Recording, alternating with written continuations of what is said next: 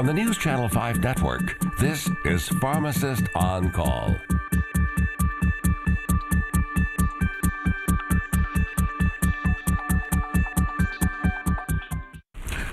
Right, welcome to Pharmacist on Call with your host, Dr. Sean Pruitt. So, good evening, Nashville, Middle Tennessee, Southern Kentucky, those of you out west in Jackson, Tennessee, those of you in Columbia, Pulaski, Lewisburg.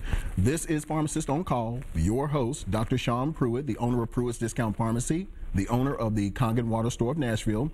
Well, everyone, welcome back to another exciting show. Uh, this show is about you. It is about your calls, your concerns, uh, any that you have.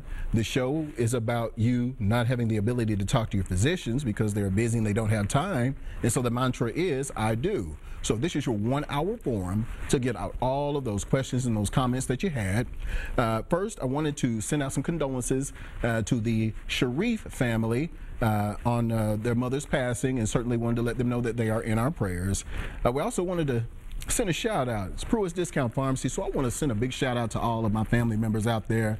My family is very huge, so all of you Pruitts out there, uh, all of you Perrys, Primes, Hardys, Fords, Haleys, Hendersons, Garcias, Dailies, Eubanks. I got a large family you also. I want to spend a special shout out to my family out there, probably all close to 1,000 of you out there. Uh, well, everyone, this show is going to be about night blindness. That's right, we're going to discuss night blindness. No, I'm kidding. Don't get upset. This is the marijuana show. So, this is a show where we are going to talk about the legal issues and the potential medical benefit of marijuana. Didn't want to upset you there, just, just kidding a little bit. But looks like we already got a call. So, we're going to take him and then we'll get into a little bit about uh, what we've got here with marijuana. All right, line one, we've got Ronnie. Ronnie, welcome to Pharmacist on Call. How may we help you? Yes, sir. I want to see if you could enlighten me, educate me somewhat more on the joint medications that are out there today.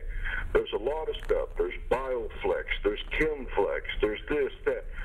What do you really look for, eh, or even should you take an over-the-counter joint enhancement or joint medication, if you will.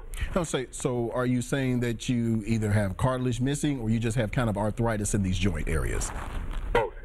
Okay.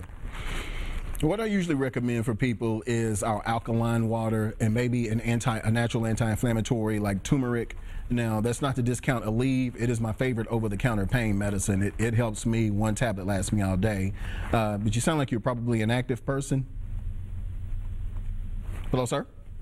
Okay. Well, assuming that uh, that Ronnie is active, uh, I would recommend the alkaline water. What tends to happen is uh, we will build up acidity in these joints. And so we need to neutralize or raise the pH in those joints. It's going to get into the water a little later, but Ronnie, uh, I would recommend pH 9.5 alkaline water. Uh, I would also recommend a natural anti-inflammatory like turmeric, T-U-R M-E-R-I-C. In terms of the Bioflex and the Aspirin creams and all of those, they're what we call counter irritants, which means they give you the sensation of this cool minty feeling and you forget about the pain. Pain is still there. It doesn't do anything to resolve it. It's just that now you're focused on this burn and you don't you're not thinking about the pain. So it, therapeutically, it's not doing anything for you. Therapeutically, the water and the turmeric do. So T U R M E R I C and the Kangen alkaline water. All right, looks like we have got Brandon on line two. Brandon, welcome to Pharmacist on Call. How may we help you? Hello? Hello. Welcome to Pharmacist on Call. How may we help you? Uh, am I on, I'm on air? You are, ma'am. Hey, how you doing? Pretty good. How are you? Just wondered how can we, if we decide to stop taking prescription pills versus um, vitamins, how is that going to be better for us? I would like to live a more wholesome, whole life, and you know, and get away from my like everyday prescriptions. How would you suggest that I do that? Okay. All right. We'll just uh, let you sit there while we, while I we'll put you on hold here. All right, so in order to live a more holistic life and to come off of some of the medications, never do it abruptly. I always speak with your physician or your pharmacist about it first. Uh, I always say that conventional medicine and traditional medicine can coexist, and this is what a lot of my patients do until they're ready to transition off of prescription medicine altogether. Now, we'll just take diabetes and hypertension, for example. Uh, if I have both of those conditions, I can't just come up off of the medication abruptly and then and try to take something natural. So what I have to do is first lifestyle modification. So now I have to get rid of the fatty foods and the things that are raising my blood pressure, have to come off the processed foods and the sugars that are spiking my blood sugar. I have to become more physically active and then continue to take my medication. Again, I'm going to say it, Kangen alkaline water has been shown to help a number of conditions. So we have to begin to hydrate ourselves properly. And you can start taking things like beetroot juice to lower your blood sugar and your blood pressure. So go ahead and introduce those homeopathic things, speak with your pharmacist first uh, so we can rule out any drug interactions or contraindications to whatever conditions that you have. So do this in concert with your medication until your, your blood sugar and your blood pressure get so low that your doctor is saying, you know what, I don't think you need this anymore. So one, lifestyle modification. B, introduce the the herbal medicine slowly. You take it in concert, but remember, consult with your physician and your pharmacist. So don't doctor on yourself because you need an expert to kind of help guide you through that. And certainly never quit taking your prescription medicine abruptly, okay? So that's what we do. Lifestyle modification, introduce the uh, the herbs slowly, exercise, diet, alkaline water with proper hydration. And even for those two conditions, I would recommend beetroot juice, which we will get into uh, a little later if time permits. So that is the way you do it. That's the way you come off the medications. My patients who are in a position that their blood sugars are so low, A1Cs are going down, blood pressures are in the normal range, that is how they did it. All righty? All right, it looks like we've got Yvette on line one. Yvette, welcome to Pharmacist on Call. How may we help you? Hi.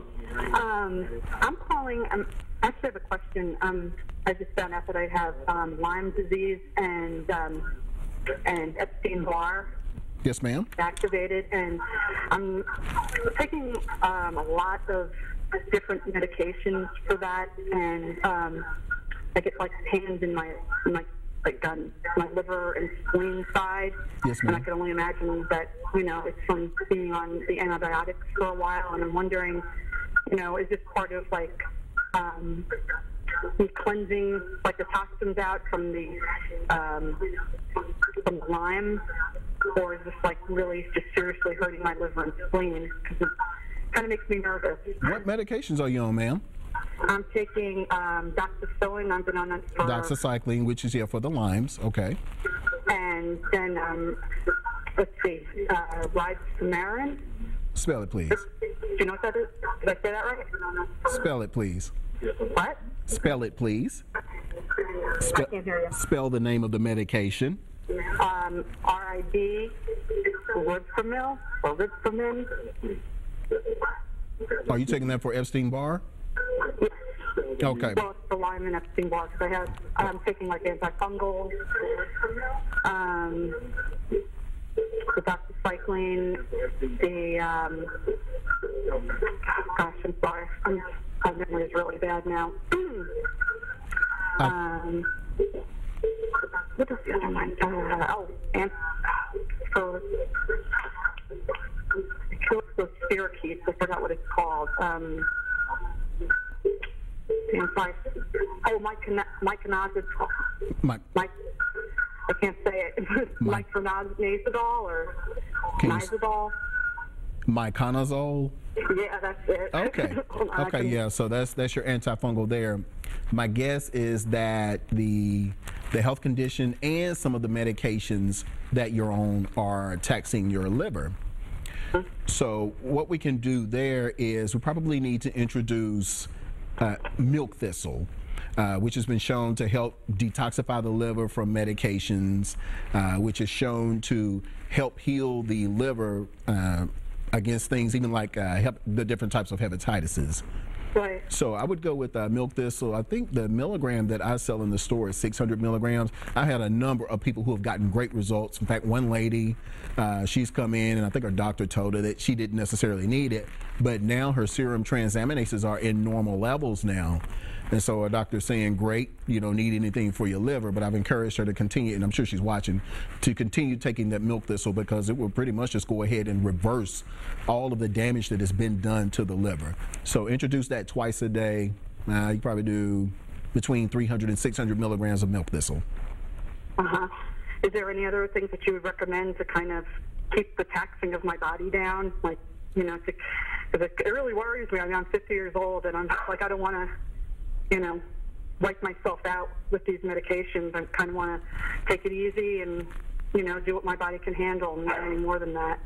Well, again, I'm going to have to recommend the water. It is it has amazed me at the stuff that it has been able to do. So a lot of things that I had no clue that the water was good for, it, it's turned around a lot of conditions, and these are what my patients are reporting to me, uh, not things that I've read or Googled. It's just everybody is telling me different stories about, hey, this symptom improved, or this health condition is improved, or these numbers improved. So I would recommend alkalinizing your body, getting the pH up. Mm-hmm. So Kangen alkaline water, pH of 9.5, one half, one ounce per one half pound of body weight. So if you're a 100 pound woman, you drink 50 ounces, which would be about a liter and a half, which should be about close to maybe around half a gallon or so, maybe more or less. But you'll want to alkalinize your body and uh, probably stay away from foods that acidify you, like your red meats, your fruit juices, things that contribute to your body being taxed. Oh, does that include, do you think lemon also? Because I thought that was part of like the detoxifying. You think I should stay away from lemon as uh, well? Uh, yeah, because it is a citrus fruit, which means it contains citric acid. So it is also acidic. Okay. Yes, ma'am. Oh, I will have to let you know what happens to me yep. in a couple of weeks. Yes, ma'am. Yeah, yeah. Give us a call. Thank you. All right. Thank you. All right, everyone, we are up on a break. Stay right there. We will be right back.